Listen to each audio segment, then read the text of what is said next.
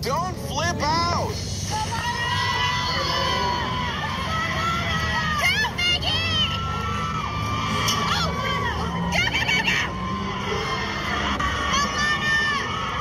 She planned on doing that. She just wanted to make it interesting. Oh, nice. Oh, you got your jaw. Oh. Stick to the trampoline, kid. It's surprisingly less dangerous. Hey, uh-uh. Go the other way.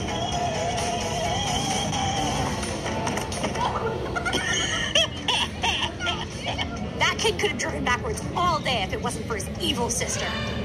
That was the slowest fall I've ever seen. I bet that kid didn't even get hurt.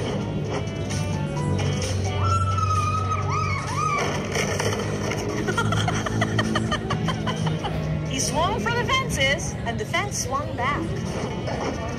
Those things are hard to get into.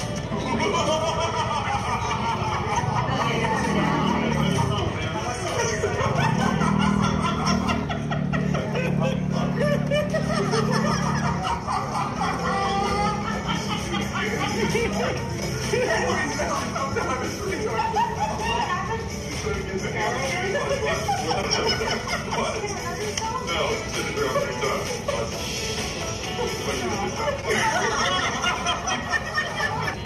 love that she has no ability to learn whatsoever.